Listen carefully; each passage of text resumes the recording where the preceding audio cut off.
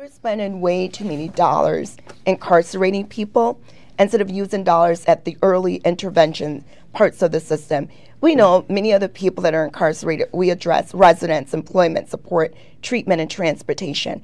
And if we're addressing these needs prior to incarceration, why is it questionable that these dollars are not following people into our communities? Our communities don't have the dollars available. So we send people to prison, prison for decades and they get out and there's no support for them. The world is completely different.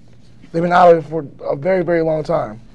One thing I want to look at is the reentry process. How are we getting them prepared for the real world again?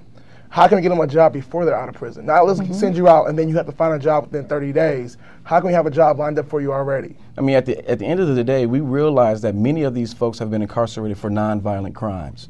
And so we have to look at the decriminalization of, of marijuana.